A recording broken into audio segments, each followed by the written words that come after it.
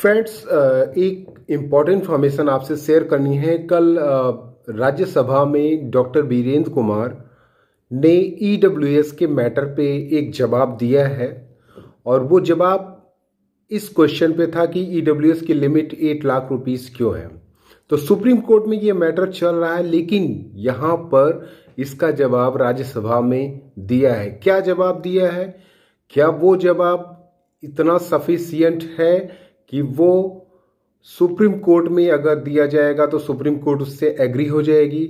ये हम पूरा डिटेल में बात करेंगे क्या उन्होंने कहा है, कौन से आर्टिकल की उन्होंने बात की हुई है, कौन से अमेंडमेंट एक्ट की उन्होंने बात की हुई है, क्या पूरा बात है ये हम पूरा डिटेल में बात करेंगे। और इससे ओबीसी और ईडब्ल्यूएस के रिजर्वेशन पे प्रभाव पड़ेगा या नहीं पड़ेगा?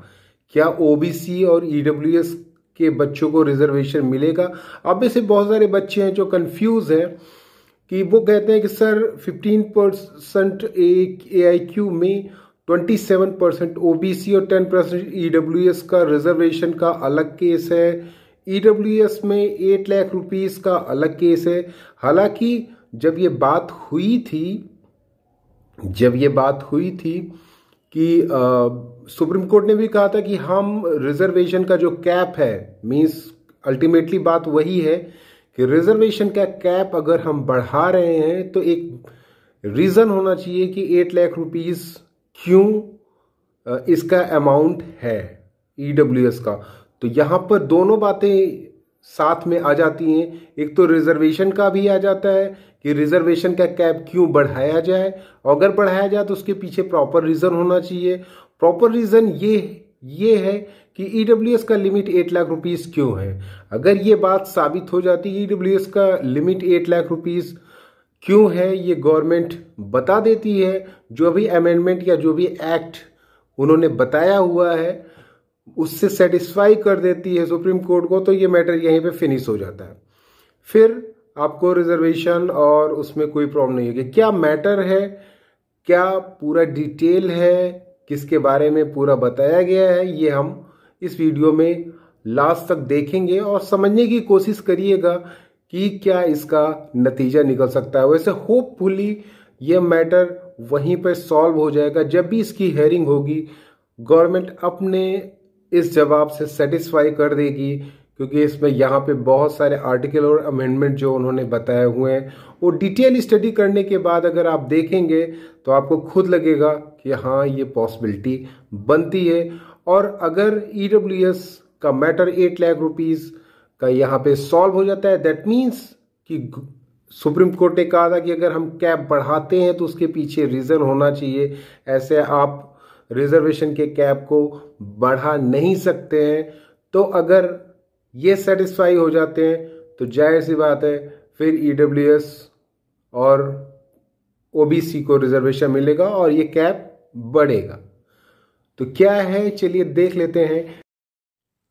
Centre apprises Rajya Sabha of criteria for EWS reservation Minister of Social Justice and Empowerment Dr. Virendra Kumar on Wednesday informed the Rajya Sabha that the e economical backward class EWS reservation of 10% in employment and admission in education institute has been implemented as per the constitution 103 amendment act 2019 यहाँ पे इन्होंने ये amendment act और constitution की बात की हुई है कि उसके बेसिस पे ये दिया हुआ है ministers of social justice and empowerment और यहाँ पे पूरी जो बात हुई है, वो हम देख लेते हैं।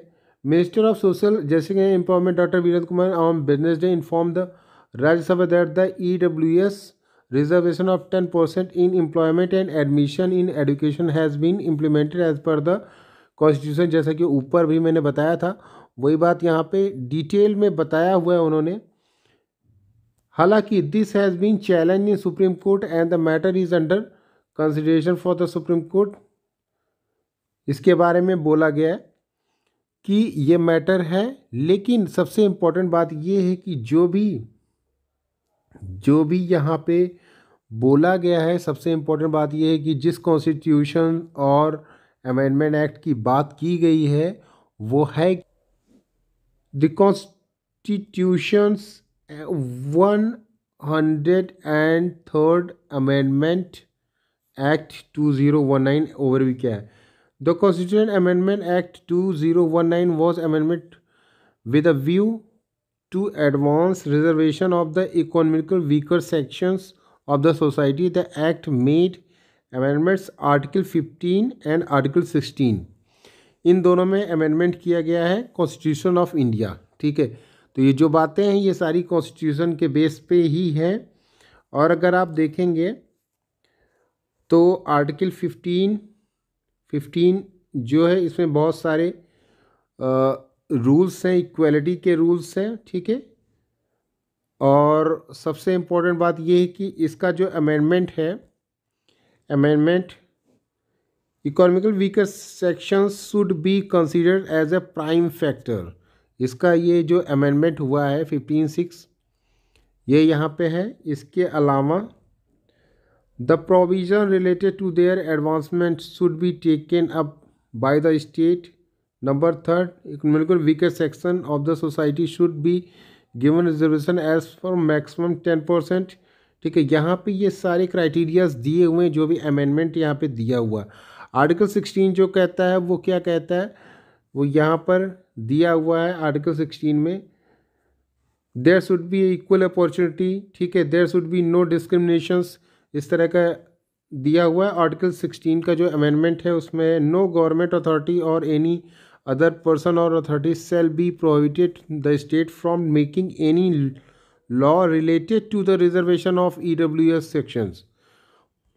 ये सारे लॉज हैं जो स्टेट को फॉलो करने पड़ेंगे, वो अमेंडमेंट नहीं कर सकते हैं इसमें। The law made for their reservation should not exceed ten percent ten percent से ऊपर भी नहीं हो सकता।